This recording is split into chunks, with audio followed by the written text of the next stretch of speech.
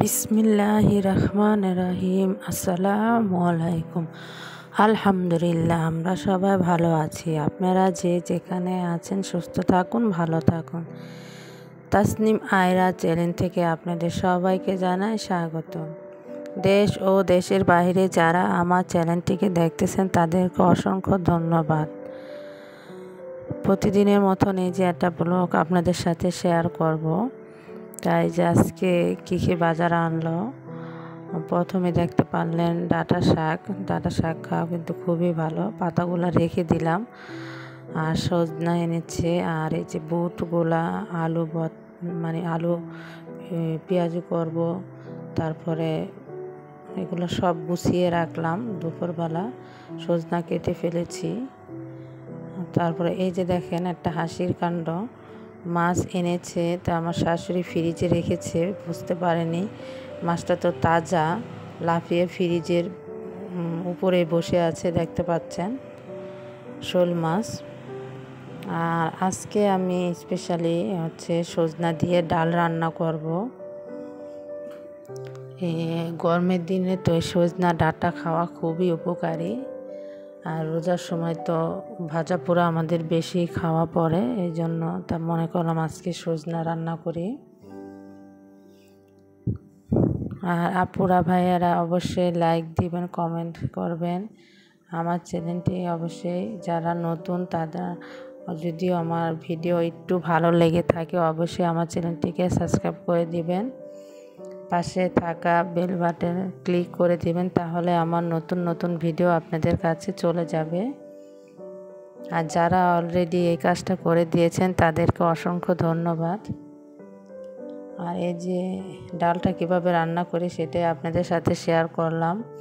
আদা, রসুন আমি যেভাবে রান্না করি, সেটাই আপনাকে বললাম। আদা আর একটু জিরা, লবণ, হলুদ। এটা অন্যভাবেও রান্না করা যায়, কিন্তু আজকে এভাবে একটু করব কষিয়ে। আর কার কার সজনা ডাটা পছন্দ অবশ্যই বলবেন। এটা হচ্ছে মসুরির ডাল দিয়ে রান্না করব।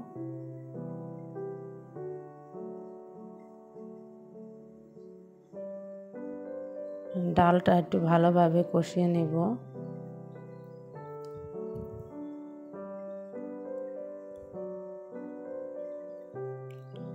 সব কিছু দুপুরে গুছিয়ে রেখেছিলাম, তারপর গোসল টোসল করলাম, তারপরে নামাজ পড়ে বিকালে আমরা রান্না করি। আর না গুছিয়ে রাখলে আপনার মনে হয় দিন তো ছোটোর মতনই কাজ চলে যায় সারা দিন তাই তাড়াতাড়ি কাজ গোছাতে হয় রোজার মাস তো। আর সাথে একটা আলুও দিয়েছি, সজনার সাথে দেখতে পাচ্ছেন। এখন এগুলো একটু ভালোভাবে কষিয়ে নিব।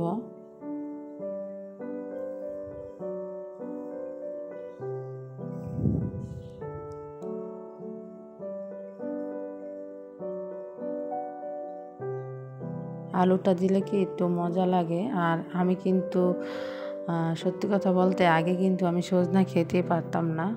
কেমন তিতা তিতা মানে একটু লাগতো। মানে প্রথম যখন খেয়েছি, আগে আমরা যশোরে ছিলাম তো ওখানে সজনা অনেক পাওয়া যেত, তাজা তাজা মানে গাছেই ছিল। আর এখন এটি তো ঢাকায় অত তাজা না, শক্তর মতন হয়ে গিয়েছে। আগে আমি খেতেই পারতাম না। তা এখন খেতে পারি, ভালোই লাগে। আর সজনা তো একটা ওষুধের মতনই। সজনা খাওয়া খুবই উপকারী। আর বেশিরভাগ হচ্ছে আপনার পক্স রুগীদের যাদের পক্স ওঠে, তারা কিন্তু এই সজনাটা খেলে, তাদের অনেক উপকার হয়। এখন এই যে ভালোভাবে একটু কষিয়ে নিতেছি।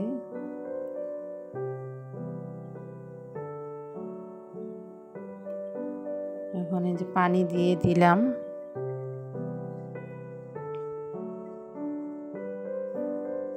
পরিমাণ মতন পানি দিয়ে দিলাম আর টমেটো দিলাম, সাথে একটু টক টক লাগবে না।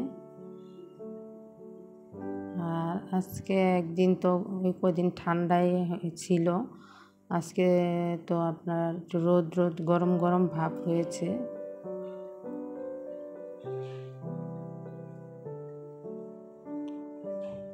পানি দিয়ে দিয়েছি পরিমাণ মতন, এখন জালটা বাড়িয়ে দিব। এটা হতে বেশিক্ষণ লাগবে না, বলকটা হলে ডালটা গলে যায়। এই যে দেখতে পাচ্ছেন।